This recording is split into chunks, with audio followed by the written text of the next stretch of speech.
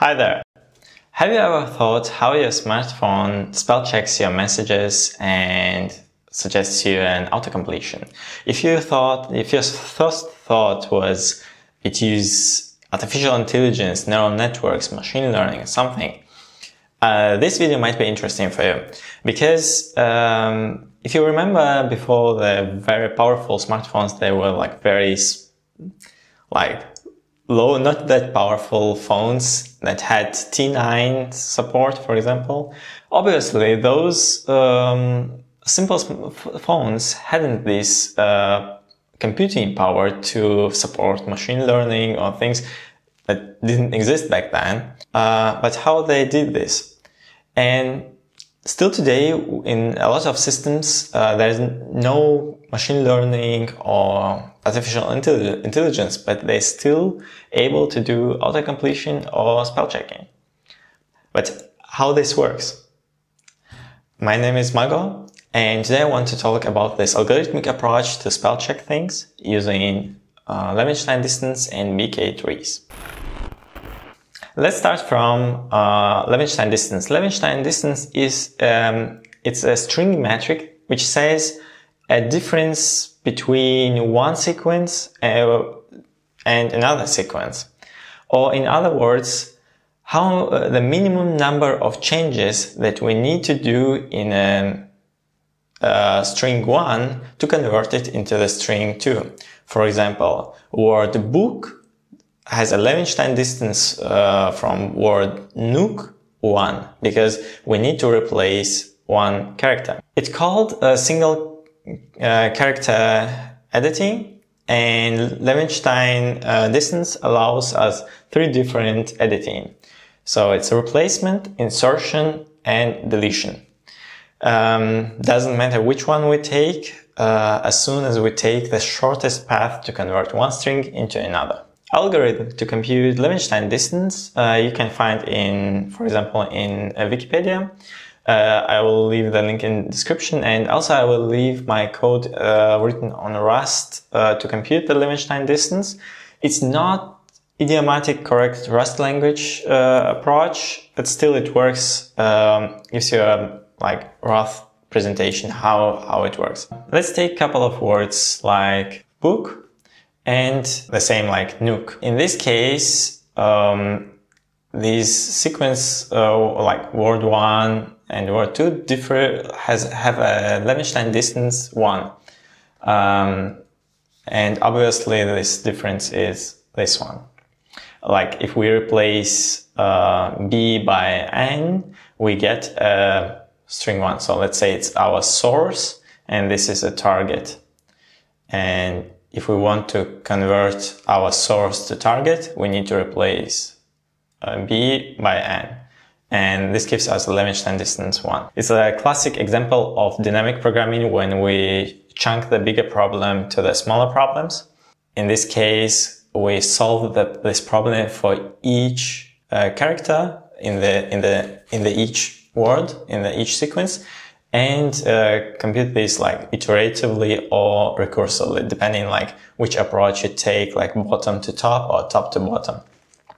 Usually it looks like uh, you have a matrix which has um, some number of uh, rows and um, words not necessarily have to be a same distance, uh, same, same length. And usually it looks like this. So you have um, like let's give some indexes here 0 1 2 3 4 5 usually we would leave uh, first, like 0 and first one empty and start writing our word from uh, from uh, second or third uh, index. And let's uh, write like uh, like cat and um, code, for example. And let's say here is an empty string and um, how many actions we need to take to convert empty string to empty string. Obviously it's zero. And um, this is our um, current cost of like distance, but um, cost for a particular step. And this will be our previous step for, for the next one. Uh, initially, we always write like fill the this matrix like zero um, to convert empty string to to uh, C. So remember this like dynamic dynamic programming approach, and we taking like single small problem uh, instead of whole big problem. To convert empty string to the C, uh, we need uh, one action. Then to convert um, empty string uh, into A, we also need one um, action like insertion uh, in this, uh, but we already had had the step like one here, so with one plus one gives us two, so it was previous cost, current cost one gives us two, and again here to convert uh, to change the empty string to this state, we need uh, to do one insertion of t, uh, which makes one, and the smallest previous step is two, which gives us three. Uh, like likewise will be here. So in this case, uh, we look our options here, like 0, 1, 1. What is like the smallest cost to do next action? It's 0. And in this case, we have C, C are equal. And um, the cost of conversion of source, uh, source to target is zero. And then um, in the next would be um, C to A would be a replacement. Um, in this case, uh, zero, zero. So the smallest one from zero, one, two, it's zero plus one replacement gives us one. Um, smallest from one to three, uh, it's one. Replacement of C to T is one action. One plus, uh, one gives us two. And likewise, we fill this um, matrix to the end. In the end, we will have a path of steps which cost us least. So um, um, in, in this case, it will be like Levenshtein distance will be equal to. Um, you can watch this in the Wikipedia page, more detailed explanation how different approaches, different calculations works. Um, it's not super efficient though, so uh, it's anyway will will take a lot of time and uh, computation complexity is uh, pretty high. So we have this um, Levenshtein distance program and we want to apply this to, um, uh, to our problem of uh, spell checking. And before we do so, we need, um, um, we need, we need a dictionary of words. Against this dictionary, we will, uh, we will check our input, user input. And I have a um, small dictionary here.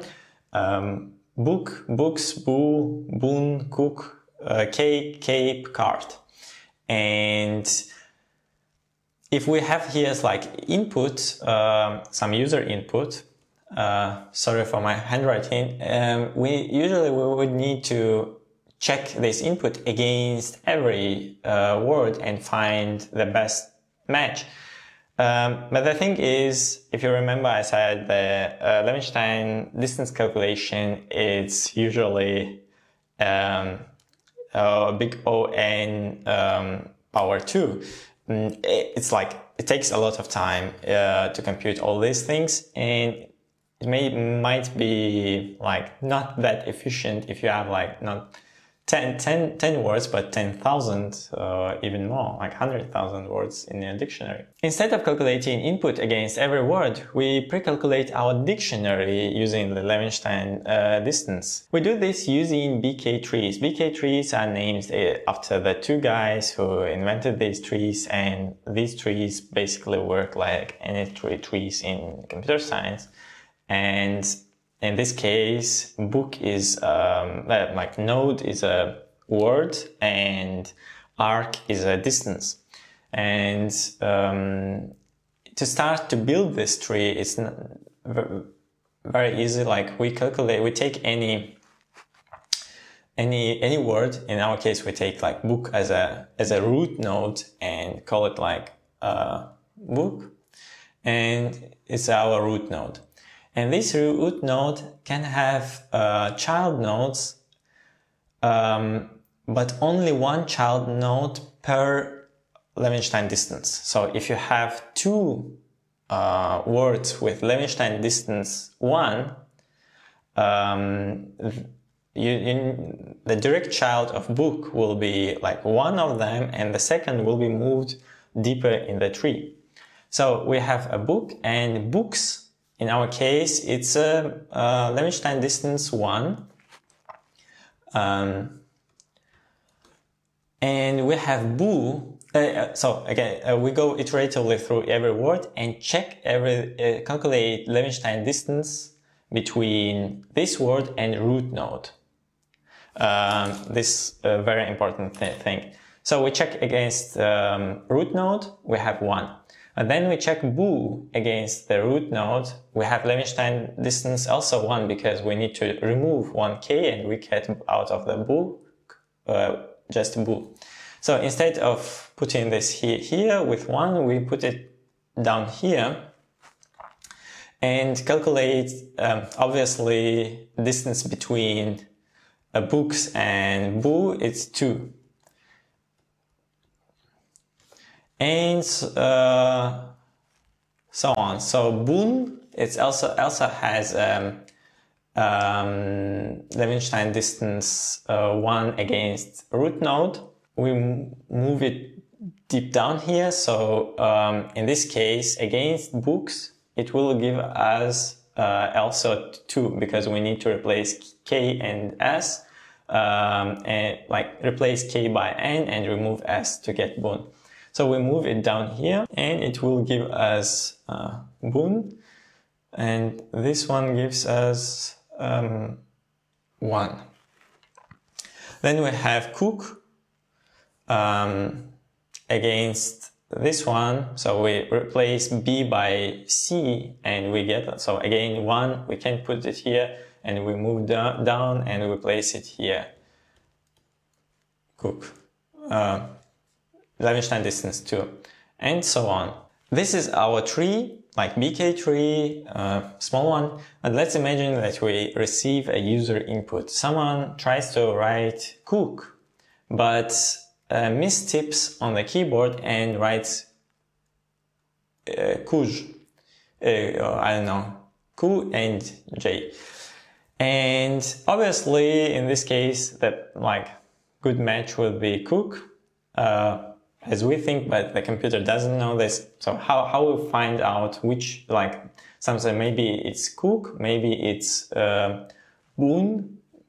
We assume he made multiple mistakes and so on. To do so, to do this search and to know in which branch of tree we need to make search, and um, we need to take um, assumption and say what is our threshold, what is the biggest um, Levenshtein distance that we ready to take, I, or smallest one that we we, uh, we want to get.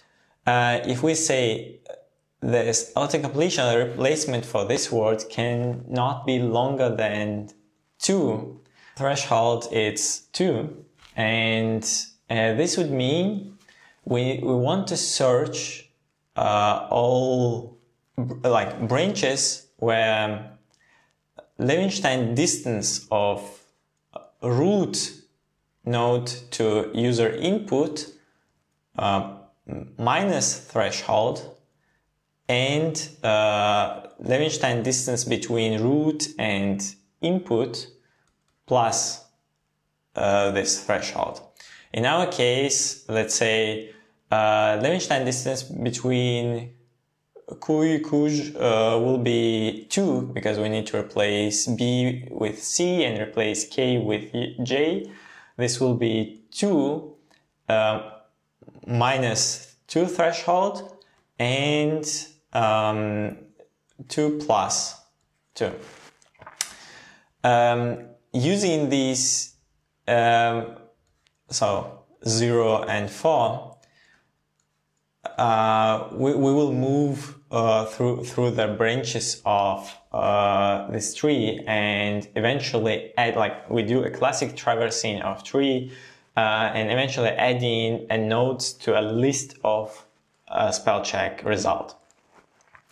This this basically how this uh, works and with more for more details you can uh, google a bit and find some examples of code and so on and I'm pretty sure that for most cases where you might need a spell checking or auto completion, this would be more efficient, uh, time, more time efficient, more computing efficient, and it will give a good result compared to machine learning, neural networks, or whatever you will, you can came up came up with. Of course, it won't be a very very smart solution. It it doesn't um, know about context of the message. It doesn't care about this. It only cares about current input and what is the best uh, spell check result for like uh, what is the nearest other words to this word. That's it for, for the moment. I hope it was interesting for you and you learned something new, new from this video. Um, consider subscribing, hit the like button and ring the bell so you get notification about new videos. See you next time. Bye bye.